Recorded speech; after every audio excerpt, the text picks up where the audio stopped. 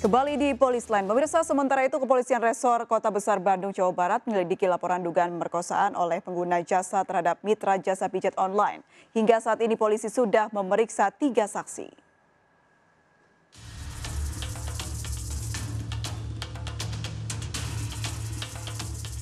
Satreskrim Polrestabes Bandung, Jawa Barat masih melakukan penyelidikan dan meminta keterangan dari pelapor, terlapor, dan juga saksi terkait dugaan pemerkosaan mitra jasa pijat online.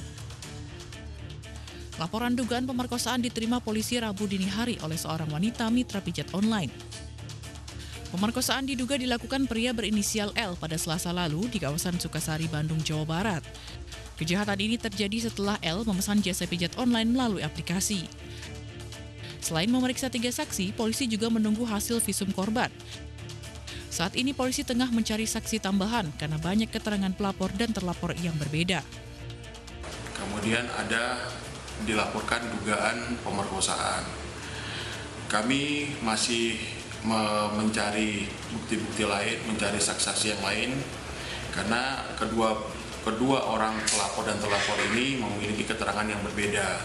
Ada satu saksi yang ada di eh, sebelah kamarnya itu pun kita tanya eh, katanya tidak mendengar adanya eh, ribut-ribut di sebelah. Jadi kami akan melakukan eh, pemeriksaan saksi-saksi yang lain dan akan menunggu hasil visum yang kami sudah lakukan. Demikian.